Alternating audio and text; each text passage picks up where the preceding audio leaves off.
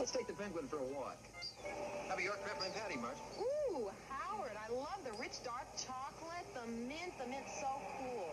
More than cool, Marge. York peppermint patty is cool and crisp. See? Mmm, you're right, Howard. It's not gooey and soft like some other mints. It's Cool and crisp. a mint ought to be cool and crisp, Howard. Exactly, Marge. From Peter Paul, York peppermint patty. It's cool and